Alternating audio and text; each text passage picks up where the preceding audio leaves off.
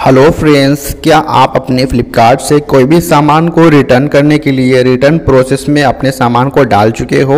और दोस्तों, अब आपका मन बदल चुका है, अब आप उस सामान को रिटर्न नहीं करना चाहते हो, और आप उस रिटर्न प्रोसेस को कैंसिल करना चाहते हो तो फ्रेंड्स आज आप इस वीडियो को बिना स्किप किए हुए शुरू से लेकर लास्ट तक देखिएगा। तो चलिए फ्रेंड्स इस वीडियो को स्टार्ट करते हैं। तो फ्रेंड्स फ्लिपकार्ट से कोई भी सामान रिटर्न प्रोसेस में डाल चुके हैं, अब आप उसको कैंसिल करना चाहते हैं रिटर्न प्रोसेस को तो दोस्तों आपको क्या करना है? अपने फ्लिपकार्ट एप्लीकेशन को सबसे पहले ओपन कर लेना है।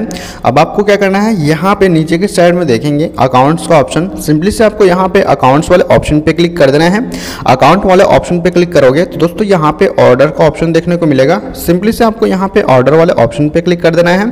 जैसे इस पर क्लिक करोगे तो दोस्तों यहाँ पे आपको काफ़ी सारा ऑर्डर लिस्ट देखने को मिल जाएगा। आपने फ्लिपकार्ट से जो भी सामान मंगाया होगा। और दोस्तों, अगर आप जो सामान को आप रिटर्न प्रोसेस में आज ही डाले हैं, और दोस्तों, आपका रिटर्न डेट अभी शो हो रहा है कि अगर आपका पिकअप डेट अभी बाकी है, तभी दोस्तों आपका सामान जो है वापस से रिटर्न प्रोसेस जो है वो कैंसिल हो पाएगा।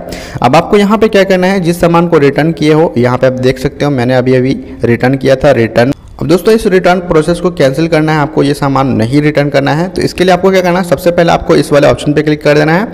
जिसे आप इस पर क्लिक करोगे तो दोस्तों, आपको यहाँ पे सारा डिटेल्स शो हो जाएगा कि आपका रिटर्न अप्रूव्ड हुआ है, और यहाँ पे आप देखोगे, यहाँ पर रिटर्न अप्रूव्ड हो चुका है।